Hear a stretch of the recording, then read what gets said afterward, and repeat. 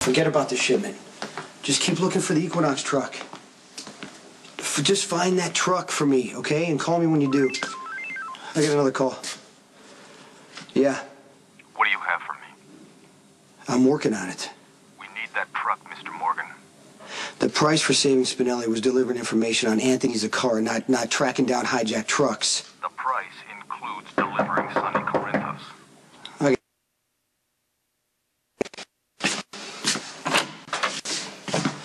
friend of mine told me he saw Sam coming into the building earlier. Spoke to the doorman, said she's been here twice. You want to tell me what's going on? You're gonna have to ask Sam. No, I'm asking you.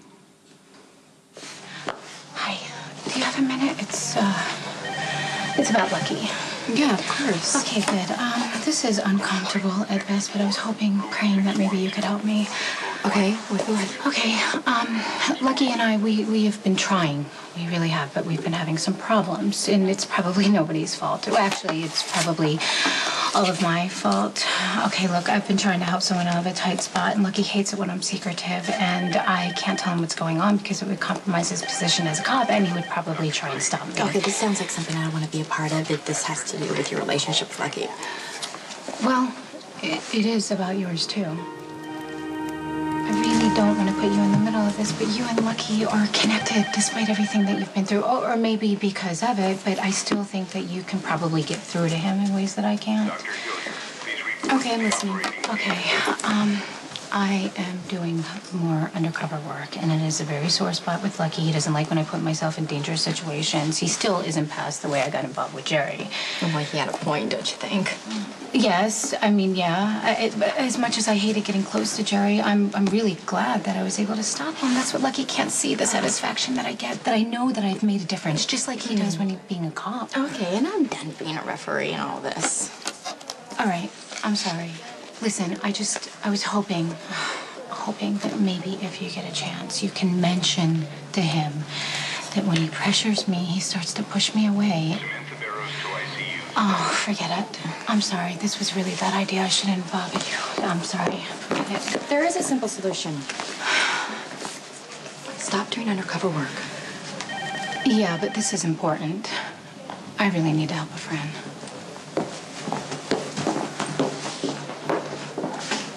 Elizabeth lied to me about having an affair with you for more than a year. Now Sam is up here without telling me a thing. I want the truth. Sam and I are working on something. What? I, I, I can't say, but I'm gonna tell you right now, it wasn't my idea to bring her in on it. Okay, so she's helping you with some illegal activity. I can't say. That's your answer for everything, isn't it? I can't say. I don't know. I'm helping raise and protect Jake. At least you owe me is an explanation. If you want information, you're gonna have to ask them.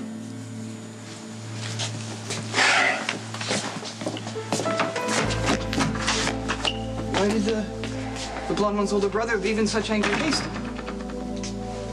I trust it has nothing to do with the Jackal's legal troubles, or the yet to be revealed hold the FBI has on Stone Can you can you stop asking me questions?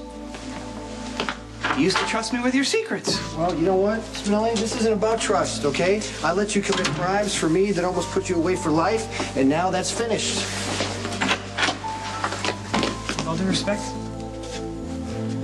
it is not fair to treat me like an errant child.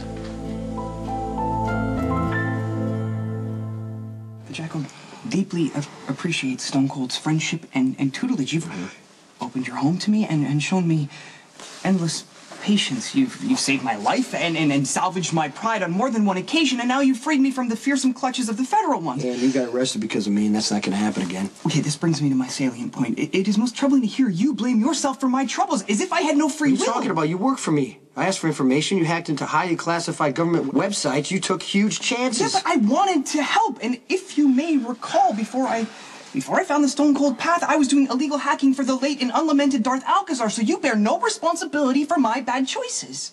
You still don't get to know the deal. With all due respect, Stone Cold is behaving with great stubbornness. W- would we not make a more effective and formidable team if we worked together? No. But- but what, Spinelli? I told you I don't want to have this conversation. Why do we keep having it? Hey, I came as soon as I got your message. I have something to tell you. Okay, go on. The reason I wanted us to meet here is because it'd be easier for you to walk out and harder to throw something at me. I am a big girl. I can take it. Just say it. I went to see Jason. I demanded to know why you've been going to see him. And what did he say? What do you expect? He told me nothing. Okay, well, thanks for telling me. No drink in the face. This is encouraging. Um, well, actually, I have something to tell you, too. I went to see Elizabeth, and I had asked her to talk to you about what it is that I was doing. It's nice to know you care. Oh, back at you. You know, it's kind of embarrassing that we have to use our go-betweens. Yeah, it is. um, what do you say the two of us go back to my place for a little one-on-one chat? Chat. Do you think we have a chance? Well, We are not going to know unless we try.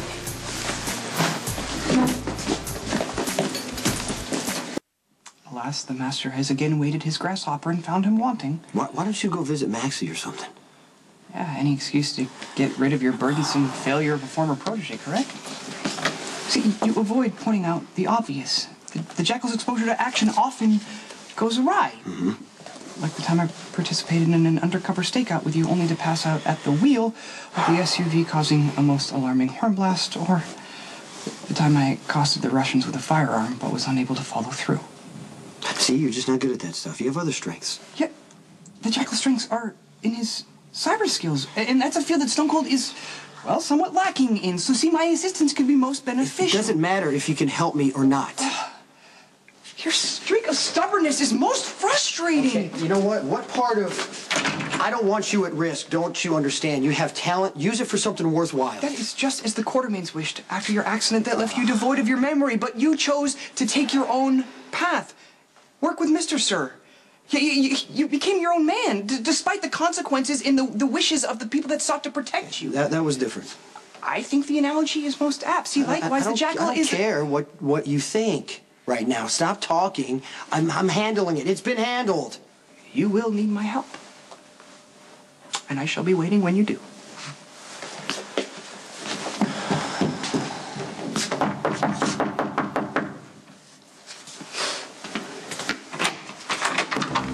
You've had enough time. You'd better have a lead on that Equinox truck. I told you I'm working on the truck. Work harder. The Equinox logo was painted on the side and it was last seen on Route 87. What am I missing here? Why in hell can't you find it?